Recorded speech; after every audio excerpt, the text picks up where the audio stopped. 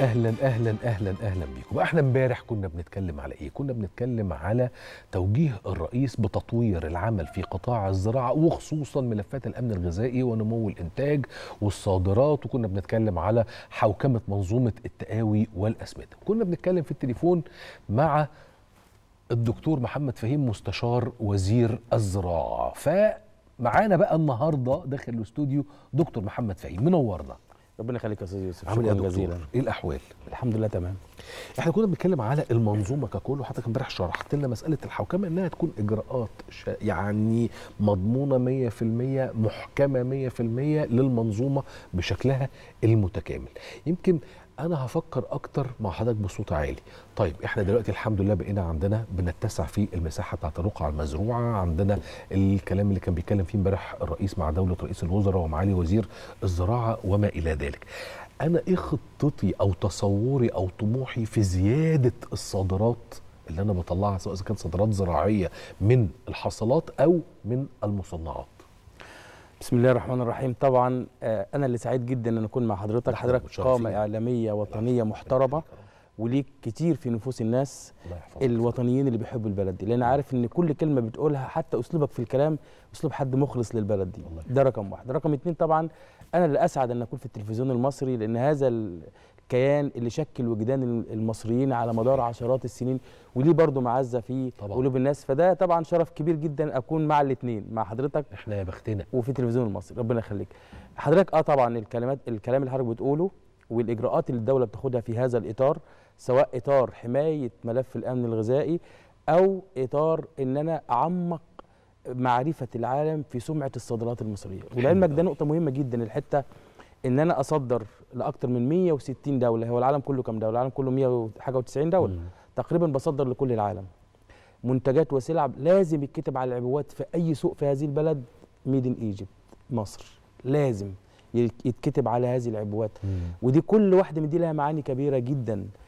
النقطة المهمة الثانية ان طيب عشان أصدر وأتوسع في الصادرات ما هو لها إجراءات. هل الاجراء هل فجأة كده إن أنا أروح مصدر ستة ونص مليون طن السنة اللي فاتت السنة دي إن شاء الله متوقع يعدي السبعة في رقم تاريخي لمصر في ظل هذه الظروف الصعبة سواء على مستوى التجارة العالمية على مستوى الإغلاقات اللي حصلت على مستوى لسه تداعيات ال- الكورونا موجودة والأمور السياسية الموجودة في العالم. كل هذه الأمور و- و- وأنت عمال صادراتك يحصل لها تنمية مش من فراغ ولا من بلاش. واضح جدا إن هذه الدولة تعلم جيدا ماذا تفعل. ودي بقى النقطة اللي حضرتك كنت بتتكلم فيها قبل الفقرة ثقافة. هو الثقافة مش قراءة وكتابة الثقافة هو أن يعلم كل مواطن عايش في دولة هو الدولة دي ماشية إزاي. ثقافة تعامله مع الناس سلوكه اليومي أكله وشربه وتعامله في كل حاجة هي دي الثقافة. مش مش الثقافة أن أقرأ كلمتين وأجي أتفلسف على الناس بيهم. دي مش الثقافة. فاللي حضرتك بتعمله والموضوعات اللي حضرتك بت- بتفتحها دي جزء كبير جدا ان أنا اثقف هذا الشعب المحترم اللي يستاهل انه يعرف. طبعا. لازم هذا الشعب يعرف هو الدنيا ماشية إزاي. طبعا الأمور صعبة شوية على الناس. الأمور محتاجة آه، الناس يعرفوا إن أحيانا بيبقى في تشابك وتعقيد ما بين العالم كله في ظروف اقتصادية في كذا في كذا. لازم يعرف ولازم يكون عنده آه، يعني ثقة كبيرة جدا إن الدولة دي شغالة لمصلحة الناس بتاعتها. مم. إن مصر ماشية في هذا الاتجاه لمصلحة الناس بتاعتها. فكل اتجاهات الحفاظ على ملف الأمن الغذائي هو في صالح هذا البلد. أنا يعني لو قدرت أقول لحضرتك المحاور. اللي مصر شغالة عليها كلها لازم تكتب جنبها كلمة لأول مرة في تاريخ مصر. بتا... لازم تكتب جنبيها وبصفة غير مسبوقة. لازم يتكتب جنبها كده لأن فعليا هي كده. تعال نضرب أسئلة يا دكتور. هدي لحضرتك أمثلة، أم-. أمثلة مهمة جدا. هذه الصحراء الممتدة في مصر ب- مصر بلد صحراوية بالمناسبة. مم. مصر بلد صحراوية لأن حاجة و90% صحراء وده من آلاف السنين. آه، فقط هذا الشريط الضيق الذي أحيا المصريين بعد فضل ربنا اللي هو النيل شريان الحياة زي ما بيسموه. هو الموجود وحواليه بت- بتقيم الحياة كلها والزراعة وكله. فجأة الدولة الكلام ده من السبعينات بدأت الدولة تقول طب ما نخرج خارج هذا الحيز الضيق واستصلح الصحراء. فبدأت تستصلح الصحراء.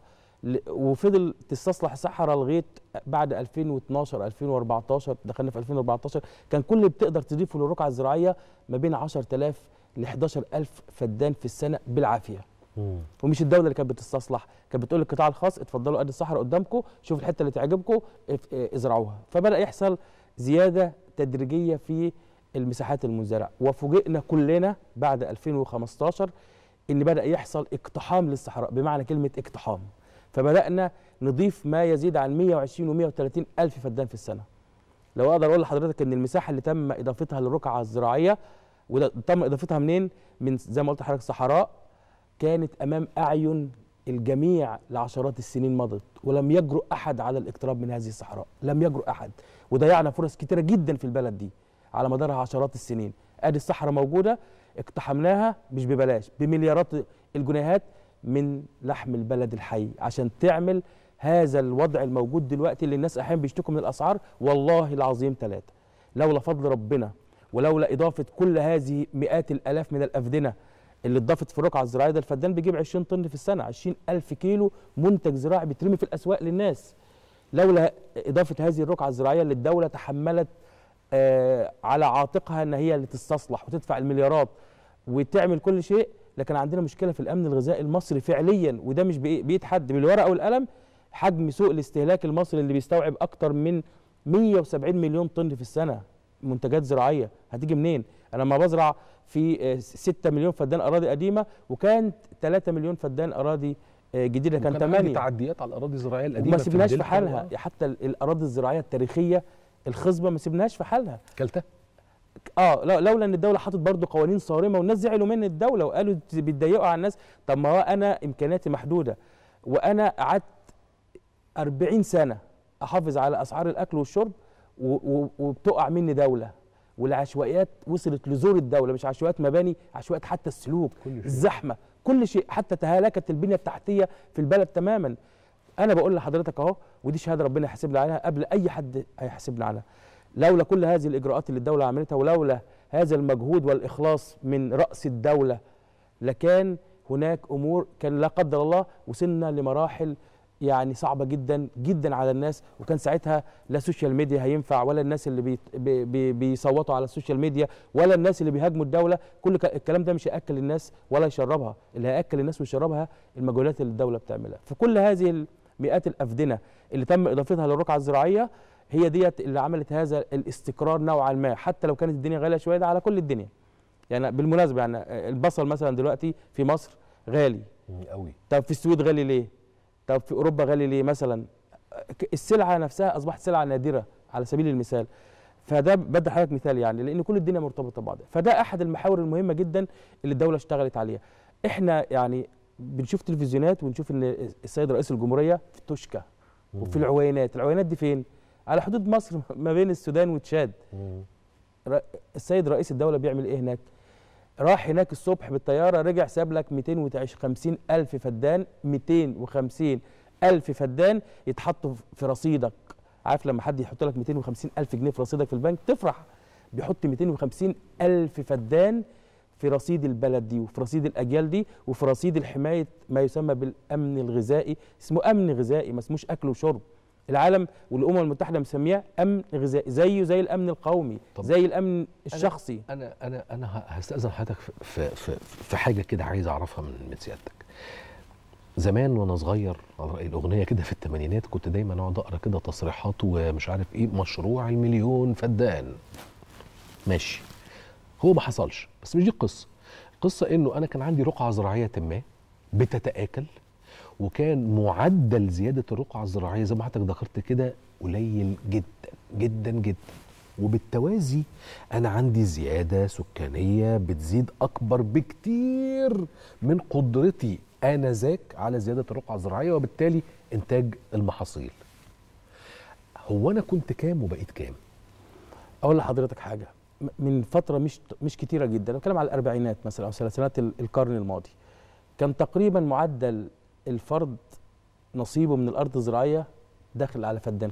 نزل أقل من فدان بس فدان. أنا دلوقتي 2 قيراط معدل الزيادة السكانية زادت في خلال ال 100 سنة 500 ضعف. ومعدل الزيادة في الأراضي الزراعية زادت 50% يعني زادت بمقدار 50% كانوا هم 6 مليون فدان وصلوا تقريبا ل 8 مليون فدان أو 7.5 مليون زادوا 50% دي 500% ودي 50% ايا. كان ده جزء من تركيبة هذا البلد إن في زيادة في السكان.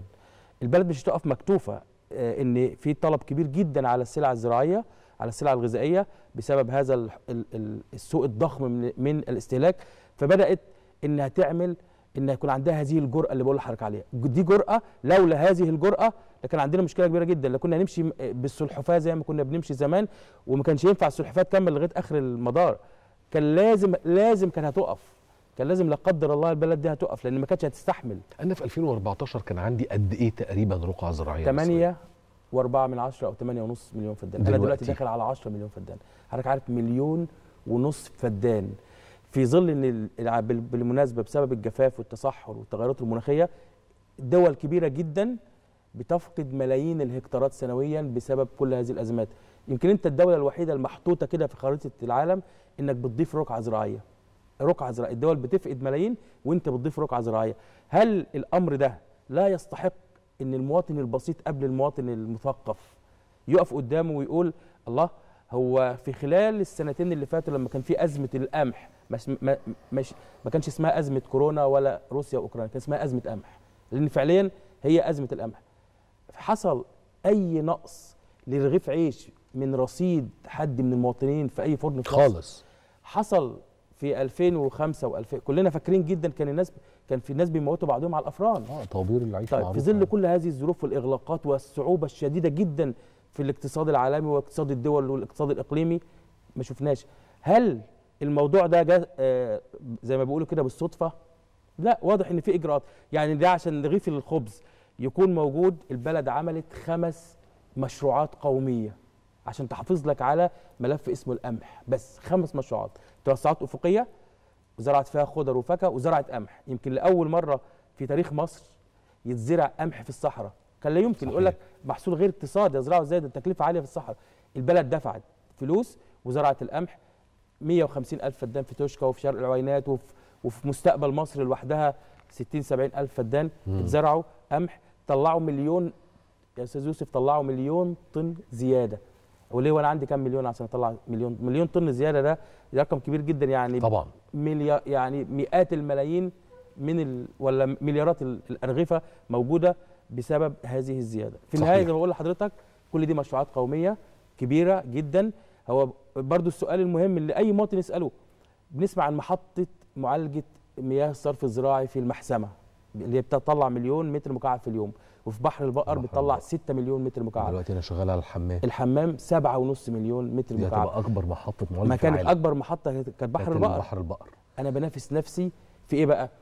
هو أنتوا بقى ما وراكمش غير أكبر محطة أكبر ما هو أكبر محطة. أكبر محطة دي هتطلع إيه؟ هتطلع مع احترامي يعني هتطلع أضواء و- وألعاب نارية ولا بتطلع مية مية. نستصلح بيها الصحراء؟ فأنا ب- بتكلم على أطول نهر صناعي في العالم في العالم موجود في الصحراء الغربية اللي هيغذي منطقة الدلتا الجديدة دي كلها اللي هي موجودة من آلاف السنين بالمناسبة. دي الصحراء موجودة من آلاف السنين. اللي هيغذيها فبالتالي هقدر أتوسع في الرقعه الزراعيه أكتر من دلوقتي وفي الحالة دي يحصل تسارع كبير جدا في إضافة الرقعة الزراعية.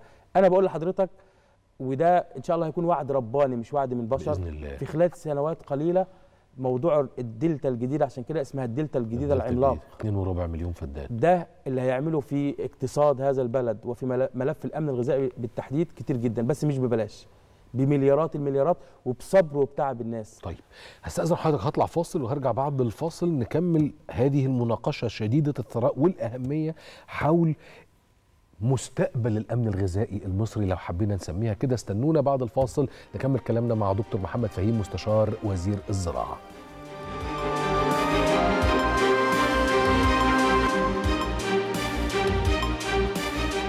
أهلا بكم مرة ثانية وكل الترحيب بضيفنا العزيز دكتور محمد فهيم مستشار وزير الزراعة. طيب ولا زلنا في إطار الحديث حول مستقبل مصر وأم أو مستقبل الأمن الغذائي المصري. إيه تاني يا دكتور؟ طبعا بالإضافة زي ما قلت لحضرتك لكل هذه الرقعة الزراعية اللي تم إضافتها للمساحة المحصولية في مصر كمان موضوع إن يكون في مصدر غير تقليدي للمية. ما كل التوسعات دي هتعتمد إما على مية النيل أو على مية الآبار وفي كلا الحالات آه. هي مية لها مخصصات أخرى يعني مية ل- بتعتمد عليها زراعة وغيره وغيره فما أقدرش أضغط على هذا المورد مم. فالدولة فكرت طب ما ما أشوف مورد آخر غير تقليدي وبسبب هذا الموضوع اتعمل موضوع المحطات العملاقة الموجودة اللي بتضرب كم عصفور بحجر منها توفر مصدر غير تقليدي ومنها تتخلص من جزء كبير من التلوث اللي أحيانا بيبقى موجود دي محطات المعالجة الثلاثية في, المصانع غير محطات تحلية الميه المالحة لا محطة تحلية الماء المالحة لغاية دلوقتي هي مش موجهة للزراعة نوعا ما لأنها ما زالت مكلفة مم. ولكن بتكلم على على معالجة مياه الصرف المياه. الزراعي مم. بتعالج ملايين الأمتار ال- من. المياه يوميا أنا بكلم حضرتك على 8 مليون متر مكعب. ال- المتر المكعب ده طن مية. هو طبعا هو بيتحسب بالم- بالمتر المكعب بس عشان نفهم الناس عشان ده الحجم. ف 10 مليون طن مية. يعني 10 مليار لتر في اليوم. 10 مليار لتر مية في اليوم. ده إيه ده؟ ده إيه اللي بيحصل؟ هو ده لصالح مين؟ ده لصالح مين؟ كل هذه المحطات اللي دفع فيها مليارات لصالح مين؟ هل المية اللي بتعالجها بنصدرها أو بنوديها بلد تانية؟ ولا هتضخ في هذه الصحراء ان تروي صحراء وتجيب خير للبلد دي وخير للأجيال اللي جاية. هو في نقطة مهمة جدا أحيانا الناس هيزعلوا من الحتة دي. بحس إن في شبه أنانية شوية. إحنا قعدنا سنوات طويلة جدا كل ما حد يجي ناحية أسعار الأكل أو الشرب أو المعيشة الناس تقول لا خلينا كده خلاص. ومش مهم اللي جاي إيه اللي جاي ده؟ مش تبعنا. الأجيال اللي جاية دي مش تبعنا مش تبع مصر. ما أنت لازم تعمل لها ده. أنت طول النهار بتطفح الدم. في شغلك عشان أولادك. ما هي دي الأجيال اللي جاية. بص أنا دايما من أنصار المواطن معذور مواطن مطحون بقاله 40 سنة. ف اهي تنفيسه كلام ساعة الجد المصري بيستحمل اللي مفيش مخلوق يستحمله. وهو عشان محترم وعشان معظم المصريين محترمين ومخلصين ووطنيين وبيحب بلدهم. معظمهم. طبعا. بس أحيانا بيبقى يتم التركيز على قلة قليلة جدا من المصريين اللي أصلا مش مصريين للأسف. على سبيل المثال بس هقول لحضرتك مثال. كان اليومين اللي فاتوا كان في كلام شوية وكان فيديو كده تم اقتطاعه آه، من صوبة أو صوبتين وبدأ يتكلموا على مشروع قومي. طب أنت بتصور صوبة أو صوبتين تتكلم على مشروع قومي ليه؟ هل يصح وأنت قاعد في غيطك أنا معدي عليك على الجسر كده وأنت في عز الولعة في غيطك وبتشتغل وتعمل القى عود مكسور على رأس الغيط أصوره وأروح البلد هيصلك في البلد وأصوت وألطم. هو مين قال ان دي عندي؟ يعني وأقول ليه لهم مش في أي مشتل ليه مش في أي عزبة مش حتى في أي لو حتى لو يعني. موجود. دي دي مش كوبري لا قدر الله وقع ولا بتاع ده صوبة بعد أقل من ساعة بتتنظف وتزرع الموسم الجديد. مش ده المقصود. المقصود إن الإنسان لما يجي يعمل طرح يكون عنده ضمير عنده ذمة عنده دين عنده بينه وبين نفسه صدق. قبل ما يطرح حاجة عمال تهيص وتعمل عشان إيه؟ ما الناس كلها مخلصين ومحترمين في أرضهم وفي أعمالهم وفي كذا. أنت عاوز إيه من البلد دي؟ طيب ده ياخدني على كلمة قالها الرئيس امبارح وكان توجيه مهم جدا على ضرورة استخدام أساليب الري الحديثة. بما إن إحنا جبنا سيرة الصوب الري داخل الصوب والري أيضا للمحاصيل الحقلية والري أيضا حتى للقمح وما إلى ذلك أصبح بيتم بطرق لم نكن نعهدها. ولو كنا بنشوفها كنا نشوفها بندرة كده زمان. أقول لحضرتك حاجة. دلوقتي الحمد لله أنا داخل تقريبا على 4 مليون فدان في الصحراء. ال 4 مليون فدان في الصحراء كلهم بيتروا ري حديث. إما بال pivot المكن آه. الكبير قوي ده اللي بير... اللي بالرش أو بالتنقيط. فكله ري حديث. كفاءة استخدام المية في الري ده بتمثل تقريبا 80% الري. بالغمر ما بين 40 ل 50 وفي النهاية موجودة في اراضي الوادي والدلتا ودي حتى الدولة مش هتسيبها. حلو. في دلوقتي مشروع قومي أو في توجه آه، سيادي إن يتم النظر فعليا في هذا الأمر في موضوع تطوير وتحديث. حتى لو ممكن نكتفي في المرحلة الأولى بالتطوير إن أنا أعمل تبطين ترع تبطير المراوي أعمل تطوير المآخذ بتاع المية. المهم في النهاية إن أنا اقلل الفقد قدر الإمكان وفي نفس الوقت تبقى المية متاحة لكل الأراضي الزراعية. مش معقول يبقى أراضي دلتا وهي آه. اراضي خصبة وأراضي تاريخية ومش موصل لها مية. فكل ده الدولة فعليا بت- بتشتغل عليه. هو السؤال بس بتكلف المشروعات دي منين؟ بتكلفها من الموازنة العامة. طيب طب وتاخد من الموازنة العامة ليه؟ ما هو لازم يتعمل كده. ما ده باعاده هيكلة بنية تحتية البلد. كانت وصلت لمرحلة إن البنية التحتية بتاعتها كانت واصلة لمرحلة الصفر كانت قربت من الصفر صح. في سنوات فاتوا. هعيد هيكلة هذا البلد و- وأعمل بلد تس- تستحق إنها تعيش وسط الأمم وتتباهى إن دي مصر ولا هنسيبها ده أنا كنت بدي مثل بسيط جدا عندنا في الأرياف اللي عنده آه، مهتم قوي بالأكل والشرب والملبس والشكل والقدام الناس والبتاع لغاية دلوقتي لسه بيته بالطوب الني.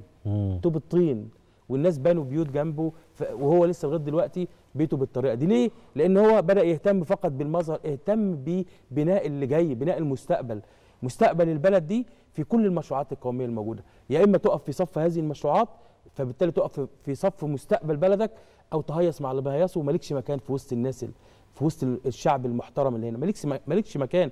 ما تقعدش تدلس وتكذب على الناس. وما تقعدش تنشر حالة من الإحباط ما بين الناس. أنت شيطان أنت شيطان. طيب ده- خليني هرجع على مش سيبك منهم ده ده شوية عيال رمم يعني. لكن خليني هروح على مصطلحات جديدة كلها.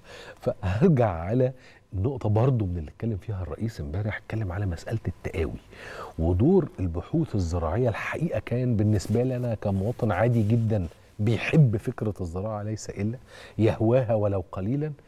إحنا عملنا طفرة في مسألة التقاوي دي حصل. وبالتالي رفعنا إنتاجية الفدادين على اختلاف نوعية المحصول. حصل حصل.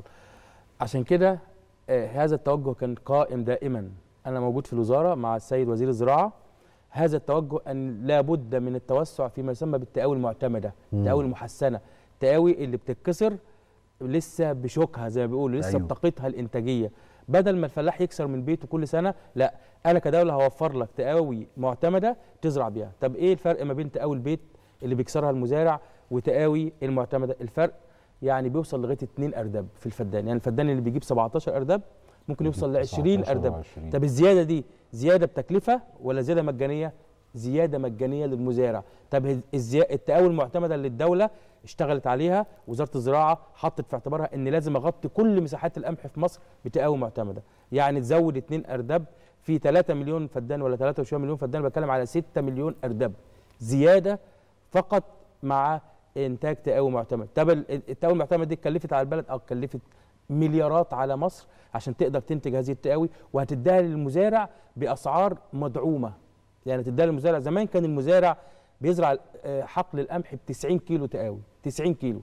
دلوقتي تساله كده يقول لك لا التقاوي الجديده أنا بزرع ما بين 40 ل 50 ل 55 كيلو بالكتير. يعني حتى وفر لك في التقاوي.